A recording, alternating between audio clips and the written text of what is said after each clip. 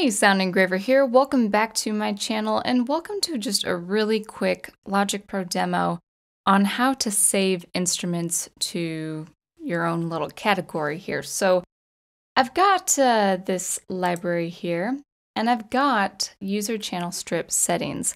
Now this is something that will pop up as soon as you modify an instrument or save an instrument as your own.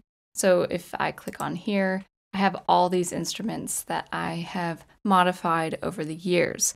Now, I need this because I'm in the process of transferring over folders and files to a new refurbished machine, so I want to save these instruments into a folder.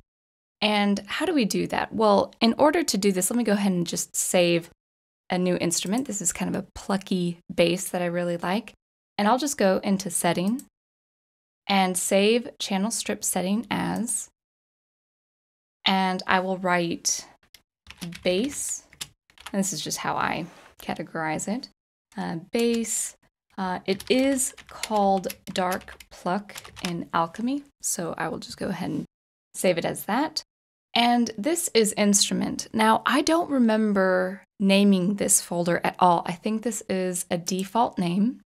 And you can see instrument scores. I think that was for MuseScore and just some recent things that I had saved. So rather than desktop or anything, just go ahead and save it to the default folder.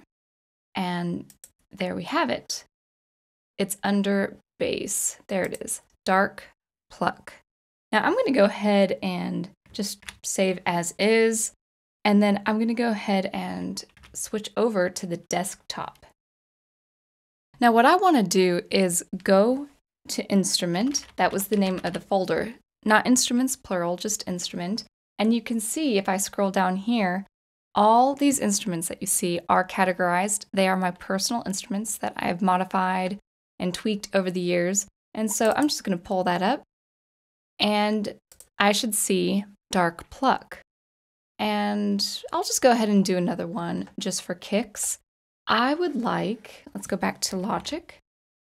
I would like Celestial Voices. This is also Alchemy. And I do believe this is the name. I haven't modified it at all. So we have Celestial Voices here, maybe just on the XY grid, just a little bit in there. Let's see what I have. I would probably categorize this as keys or pads.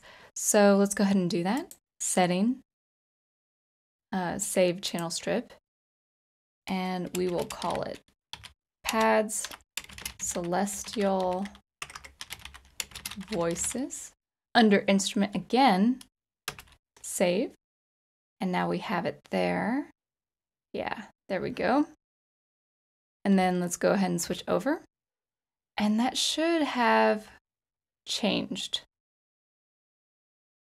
And there we go. Saved it today is 11:03 p.m. Yeah, 11:03 p.m. So there we go. And this instrument folder is what I will be transferring into my new machine, into my new Logic. This current project that I have, or, or this current Logic rather, it is very old. This is a very old machine. So I'm just gonna start from scratch, see if I can save these instruments, and then get this old machine cleaned up for donation or, or for someone and we should be good to go there. But I just wanted to show you how you could save your own instruments if you've tweaked an instrument and you really like it and you just kind of save it as keys. So, anyway, that's all I have to say. Until I see you next, keep producing the music you love, and I will catch you later. Thanks again.